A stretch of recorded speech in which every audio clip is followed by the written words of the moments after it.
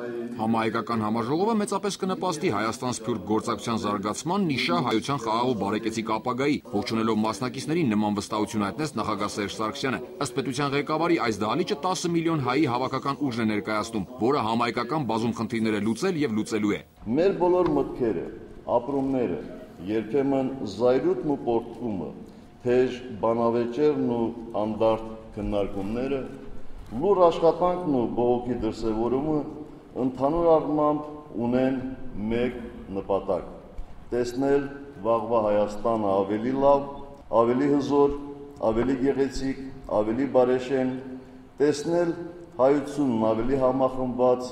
ավելի կուր ու կազմակերպված։ Բավականին կարճ ժամանակում հայրենիքը լուրջ ձեռքբերումներ ունի։ Պատմահայ խորհրդացում վկայակոչելով շեշտեց Մեծիտան Կիլիկիո Արամ առաջին կաթողիկոսը աշխարհին պիտի ներկայանանք որպես մեկ ազգ, հավաքական մեկ կամքով, հավաքական մեկ ցայնով, հավաքական մեկ պահանջատիրությամբ։ Սփյուռքի ձևավորման պատմությանն ու առաքելությանն անդրադառնալով նախագահ Սարգսյանը խոսեց նաև խնդիրներից, գլխավորը համարելով հայապահպանությունը։ Ըստիս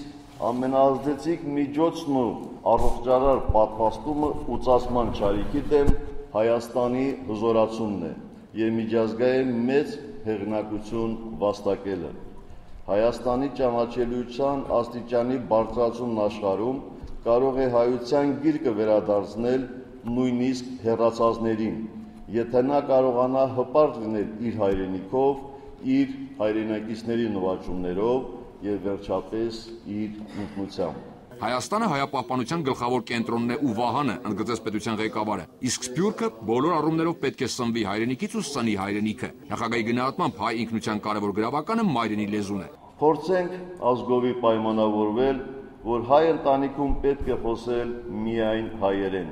Հայ երիտասարդը պետք է սրբացնի հայոց լեզուն, լինի արթուն, գիտակից ու հասկանա, որ շատ լեզուներ իմանալով հանդերձ չպետք է կորցնի մայրենին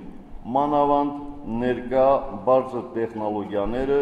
թույլ են տալիս հերավար ուսուցման շնորհիվ սովորել լեզուն։ Դիմելով մասնակիցներին նախագահը հույս հայտնեց, որ համախմբված գործունեության թիրախ կդառնան լեզվի ուսուցման, փոխանցման ու պահպանման խնդիրները։ Սերժ Սարգսյանը հատուկ անդրադարձավ արևմտահայերենի խնդրին։ Մենք Հայաստանի իշխանություններս մեզնից կախված ամեն ինչ անելու ենք արևմտահայ գրական լեզվին սատար կանգնելու համար, որը գրափարի միջին հայերենի եւ գրական արևելահայերենի հետ միասին կազմում է մեր մեծագույն հարստությունը։ Թե հայաստանցի թե սփյուռքահայ մասնակիցները կիսում էին նախագահի մտահոգությունները եւ համաժողովը համարում դրանք քննարկելու կարևոր հարթակ։ Այսպիսի համաժողովները մանավանդ երբ այն կազմակերպվում է մեր անկախության 20-ամյակի նախորդին, իրենց հետ բերում են լուրջ հարցեր եւ պահանջում են լուրջ պատասխաններ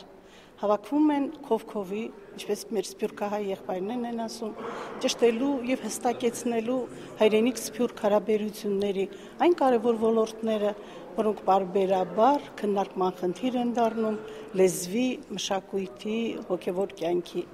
Եվ բնականաբար այսպիսի հավաքները իրենց հետ բերում են ամեն անգամ նորովի մոտեցումներ։ Ամեն անգամ ստիպում են բոլորիս մտածել ինչն էր որ արել ենք եւ ինչն է որ չենք արել, բայց պետք է անենք, որովհետեւ հրամայական է այսօր հայրենիք սփյուռք հարաբերությունների օր առ օր աճող հետաքրքրությունները եւ անհրաժեշտությունը այստեղ մի բացառիկ արիթ է, որ կարող ես 50 երկրներից մի ժամանակ ընթացքում մարդու ծանոթանալ եթե ոչ պետք է 52 ժամ փորձես դարներու ընթացքում որ հանդիպես այդ բոլորին։ Եվ ես կարող եմ նաև թուր բանալ աբակային այլ ծրագրերի, որ օրագարկի վրա ներկայացած չկան։ Բացի հոգևոր մշակութային ոլորտից մասնակիցները կոնկրետ առաջարկներ ունեին նաև տնտեսական գործակցության ակտիվացման առումով։ Իմ առաջարկս պիտի լահոս բամը հիմնել, խաղապարմը եւ մեխանիզմը հիմնել, որ մեր հայկական ռեսուրսները լա Հայաստանի մեջ, լա դիասպորայի մեջ ձևոմը, գետրոնանան դեղմը։ Հայաստանը չի կարող առանձին գործել։ Հայաստանը պետք է գործի Սփյուռքի հետ համատեղ ուժերով։ Սա է մեր կյանքի հայ ժողովրդի այսօրվա հրամայականը։ Եվ ողջևորում եմ, երբ գալիս են գործարարներ, բիզնեսի մարդիկ, որոնք ուղղակի կարող են ներդրումներ անել մեր հայրենիքում, այսինքն ուղղակիորեն բարելավեն մեր տնտեսական վիճակը։ Եթե մշակույթը, կրթությունը, հոգևոր կյանքը մեր ներկայիս իրականության ամենակարևոր եւ ամենաէական արժեքներն են, ապա այսօր տնտեսության խնդիրները լուծելը մեր ուղակի գոյության կարևոր արժեքներն են։ Ես շնորհավորում եմ բոլորին, շնորհավորում եմ մեր անկախության 20-ամյակի առիթով եւ շնորհավորում եմ խորհրդաժողովի բոլոր ներկա գտնվողներին։ Նախագահ Սարգսյանն արգասաբեր աշխատանք ու առարկայական արդյունքներ մաղթեց երկորյա համաժողովին, եւս մեկ անգամ ընդգծելով, որ Սփյուռքն ու Հայրենիքը պետք է փող լրացնեն միմյանց։ Հավատում եմ, որ Հայաստան, Արցախ, Սփյուռք միասնությունը կարող է սարեր շարժել։ Ավելին, որոշ սարեր արդեն շարժվել են եւ պատահական չէ, որ մեր միասնության խորհրդանիշն էլ սար է բիբլիական Արարատը։ Մեր բանաձևը հստակ է. հայրենիքի հնարավորությունների առավելագույնը Սփյուռքի համար եւ Սփյուռքի հնարավորությունների առավելագույնը հայրենիքի համար։ Եզրափակեց նախագահ Սարգսյանը։ Արկադի Գրիգորյան, Գևորգ Մանուկյան, ժամերատվական։